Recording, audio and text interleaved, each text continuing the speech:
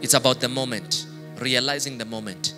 Do you know how many people, after so many years, even till today, it's been, I think, more than 10 years, but there are people, even till today, who are still wishing when Bitcoin was less than one dollar, who are wishing they bought. They wish that, oh, if I just took $10 and bought Bitcoin and waited, $10, come on, you $10 you could have just bought a pizza, 100 rand. Eh? You could have just bought a pizza, you eat, is done. If you fasted for one day and took that money for food for one day to put in Bitcoin, today, today, you'd be untouchable. So there's a man who bought 300 of it and forgot about it because it was worthless at the time. But he had a strong feeling that he must put towards this thing. It was worthless. After five years, the thing shot up in value. Instantly a millionaire. Are we together, church? So, whenever the Lord prompts you to do something, it is in the moment to do it. Don't miss the moment. Some of you, God is going to place you in strategic positions with people that have access to your next level. Be smart when you are in that place. Are you hearing what I'm talking about? My first days of serving under our parents in the Lord, we were taught a lot about sacrifice. And at the time, it was the most painful message to me. Because I was taught sacrifice when I had nothing. I was taught sacrifice when I literally had nothing no source of income, no money, nothing, not even an imagination of where money would come from. All I had was the clothes that I brought there, and sacrifice would be taught. The message that I grew up on was that you never approach a prophet empty handed. So I would literally have to borrow from people just so that I don't approach the prophet empty handed. But I knew that even that one dollar at the time, the one dollar for me was a miracle.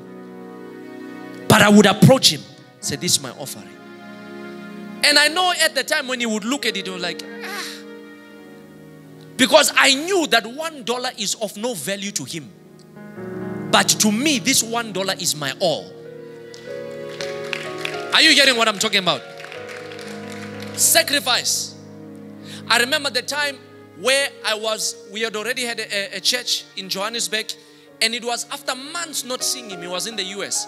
And he came back and he asked me, Son, when last did you give a sacrifice? I said, Ah, Papa, you know, I don't want to give something small, small.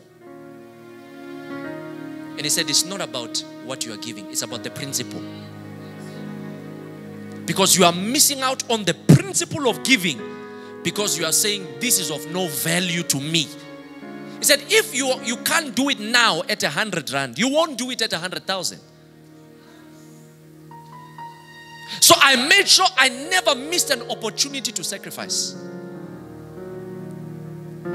Whenever my mind is somewhere else, Mama will always remind me, You are going to meet Papa. Take an offering. I said, But this one is for this. She said, Take an offering. You've got to sacrifice. And that which I would have worked hard for for months, immediately when I saw it, after two weeks, it comes back. Be like, what is this? How is something coming back with speed that I worked for over such a long period of time?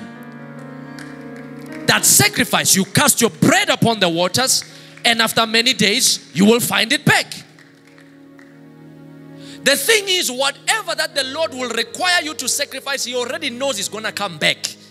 But the opportunity to release it will not. Church, this is important what I'm teaching you. Are we together here?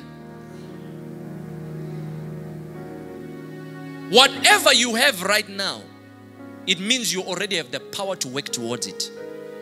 You have the power to obtain it. You have the power to receive it again. But there's a speed that comes when you have accepted that this is what the Lord wants you to do. You obtain a grace that you would have never had before in your life.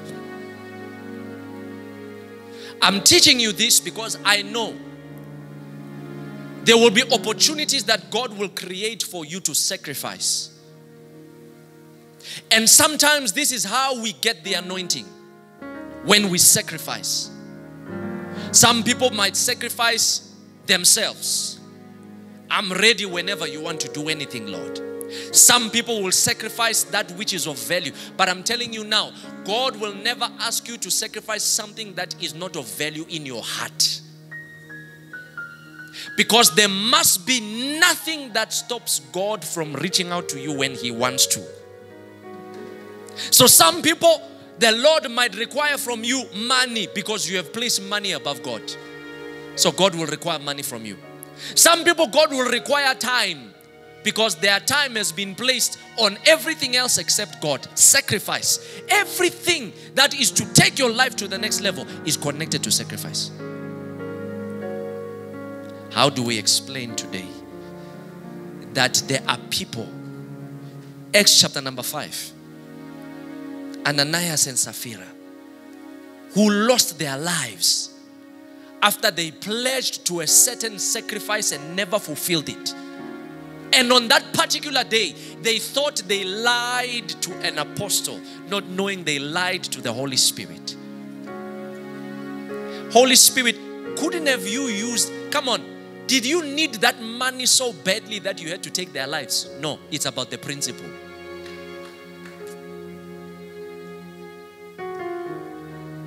Church, are you here? If you are listening to me the way I am preaching to you, you are not going to assume I'm trying to say something. I'm saying it to you. I'm not going to try to say it. I'm saying it to you. I told you, my duty is to teach you. What you do on it is up to you. It's one thing for you to give offering in the church. We are giving offering 20 rand. Da, da, da, da, da. That's one thing. It's one thing to give partnership in the church.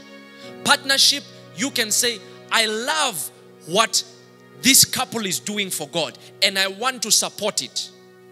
Every month I'm going to give 1,000 rands to the church for rent, for internet, whatever. Uh, this is partnership. Something that you are saying, I'm going to partner in this area for the church. But when it comes to tithe and sacrifice, this has nothing to do with offering, it has nothing to do with your love for us, it has everything to do between you and God. Because your tithe is not requested by your men of God, it's requested by God. Your sacrifice is not requested by your men of God, it's requested by God. So I have to teach you the, the same way I teach you how to avoid sexual immorality, disobeying God, all of these things that can destroy your faith. We were talking about marriage stuff, avoiding, helping to avoid you, uh, uh, helping to teach you avoid uh, wrong relationships. I must also help you to avoid making mistakes when the Lord has spoken about a sacrifice. Amen. Are you here? Sacrifice will take you to the next level.